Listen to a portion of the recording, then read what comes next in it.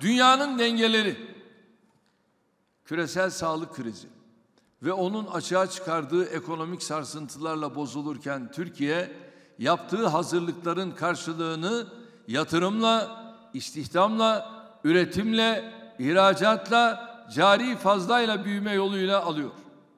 Elbette bizim de yaşadığımız sıkıntılar var. Vesayetten darbelere, terörden ekonomik tuzaklara kadar nice saldırıları göğüslemiş bir ülke olarak bu sıkıntıların da üstesinden geleceğimizden kimsenin şüphesi olmasın.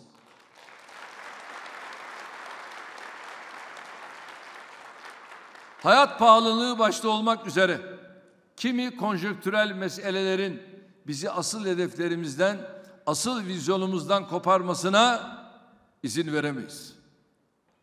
Vesayetin gücünü nasıl kırdıysak, darbecilerin önünü nasıl kestiysek, terör örgütlerinin başını nasıl ezdiysek, ekonomik tetikçilere meydanı nasıl bırakmadıysak, vatandaşlarımızı bugünkü sıkıntıların pençesinden de Allah'ın izniyle kurtaracağız.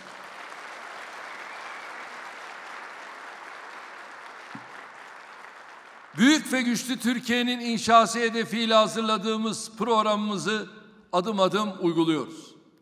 Ülkemizin ayağına vurulan her pranga gibi faiz prangasını da, döviz kuru prangasını da, enflasyon prangasını da parçalayıp atacağız. Dikkat ederseniz artık faiz tartışması gündemden önemli ölçüde düştü.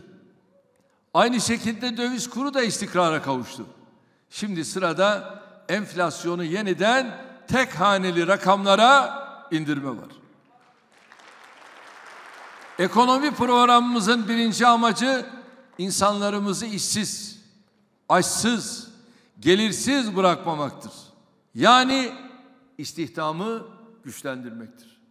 Gelişmiş ülkelerin dahi ciddi savrulmalar yaşadığı istihdamda biz salgın döneminde 3 milyon artış sağlamayı başardık. Böylece toplam istihdamı tarihimizde ilk defa 30 milyonun üzerine çıkardık. Bu ne demek biliyor musunuz? Ülkemizde çalışabilecek çağ nüfusunun neredeyse yarısı istihdam ediliyor demektir. Sanayi, üretim ve lojistik tarafında işler zaten iyi gidiyor. İnşallah baharla birlikte turizm ve inşaat sezonunun açılmasıyla istihdam oranı hızla artmaya devam edecektir. Siz sürekli felaket senaryoları yazarak milletimizin moralini bozmaya, umudunu zayıflatmaya, karamsarlık aşılamaya çalışanlara sakına bakmayın.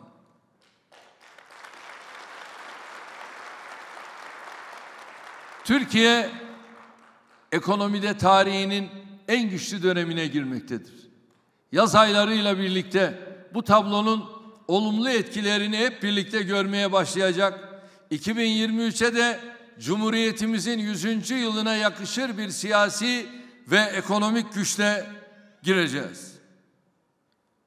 Hiç kimsenin bundan şüphesi olmasın. Yeter ki biz şu birliğimize, beraberliğimize, kardeşliğimize sahip çıkalım. Emin olun gerisi çok kolay. Hep diyorum ya.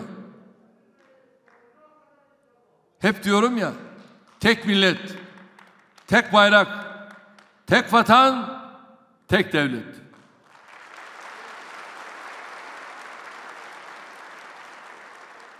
Bir olacağız. İri olacağız. Diri olacağız. Kardeş olacağız. Hep birlikte Türkiye olacağız.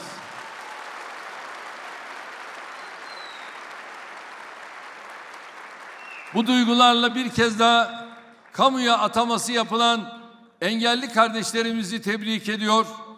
Çalışmalarında başarılar diliyorum. Bakanımız ve ekibi başta olmak üzere engellilerimize verilen hizmetlerde katkısı, emeği olan herkese Teşekkür ediyorum. Kalın sağlıcakla. Sayın Cumhurbaşkanımıza hitaplarından dolayı teşekkür ediyoruz. Zatı devletlerini bir süre daha sahnede misafir edeceğiz.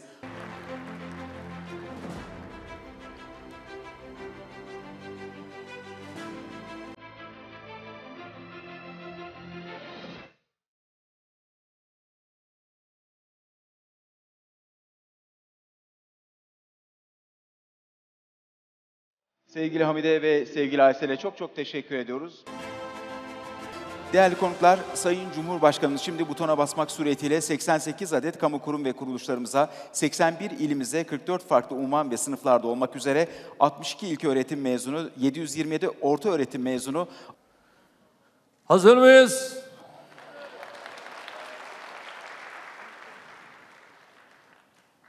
Turgay be sen de gel be.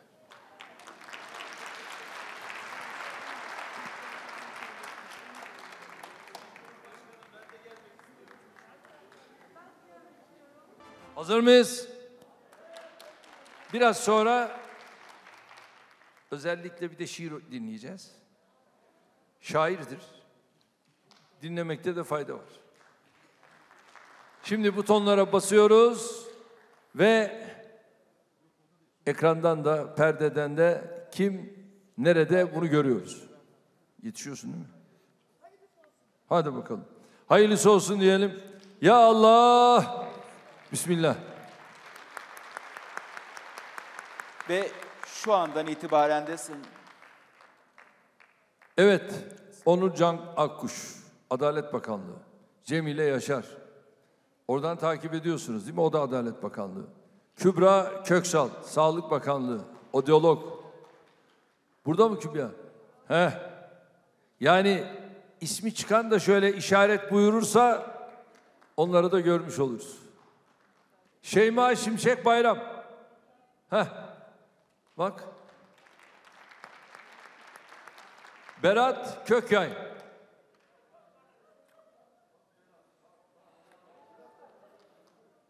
Tamam. Merve Yıldırım. Berat nerede? Yıldırım maşallah. Mer Esin Yiğit Karahan. Esit, Esin. Diyanet İşleri Başkanlığındasın. Hayırlı olsun. Hilal Arın. Hadi bakalım hayırlı olsun. Beyza Sıla Ardıç. Maşallah. Sevilay Keskin. Nerede Sevilay? Hadi hayırlı olsun. Bahadır Mısırlıgil. Deniz Gökçe. Milli Eğitim Bakanlığı'nda. Nerede Deniz? Hadi hayırlı olsun.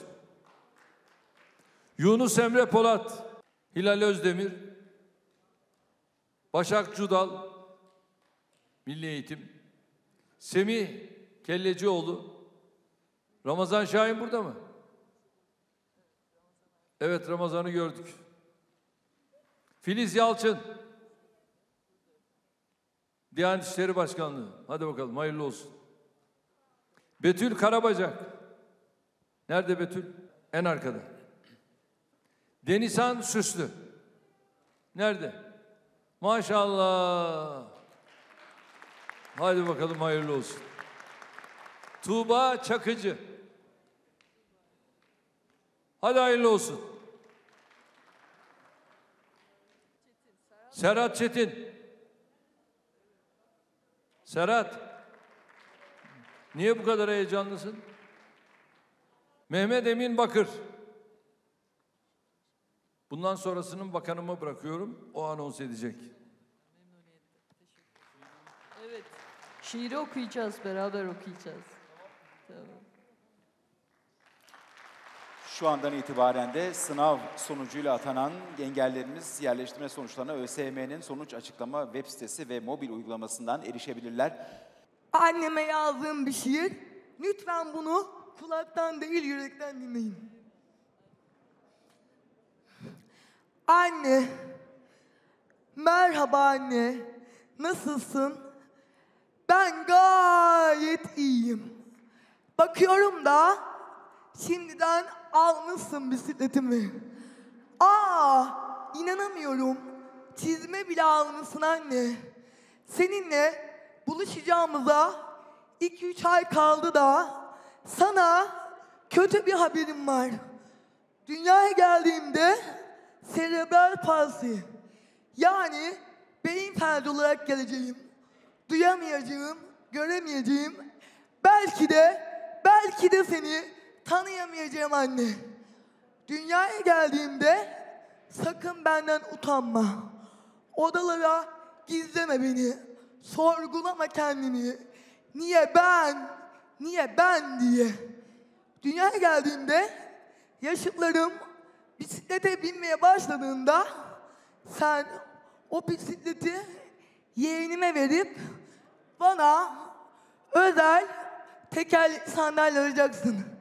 Yaşıtlarım, yaşıtlarım ayakkabı giymeye başladığında sen o ayakkabıyı bir yere kaldırıp bana her yerde uygun ayakkabı arayacaksın. Yaşıtlarım okula gittiğinde sen evi okul yapıp kendini öğretmen yapıp bana okumayı yazmayı öğretecek. Ne yapayım anne? Zor bir anne olacaksın. Zorluklara göğüs gereceksin. Anne, yaşıtlarım liseden, üniversiteden mezun olduğunda sen boş ver kızım, bugün de boyama yapalım diyeceksin. Yaşıtlarımın düğünü olduğunda sen boş ver gitmeyelim, bugün de evde oturalım diyeceksin. Zor bir anne olacaksın. Zorluklara göğüs gereceksin. Anne seni üzdüm. Ama anneler günün kutlu olsun anne, kutlu olsun. Büşra'nın annesi Büşra ile gurur duyuyordur. Hepimiz bunda hemfikiriz değil mi? Şiiri hepimiz dinledik ve ne kadar özel bir ruh olduğunu fark ettik. Çok teşekkür ediyorum. Çok sağ olasın. Evet, hepimize atama e, ve e, atanan arkadaşlarımıza da yeni işleri hayırlı uğurlu olsun. Hepinize çok teşekkür ediyorum arkadaşlar. Görüşmek üzere. Aile ve Sosyal Hizmetler Bakanımız Sayın Derya Yanık'a da çok çok teşekkür ediyoruz. Sevgili Büşra'ya da çok çok teşekkür ediyoruz.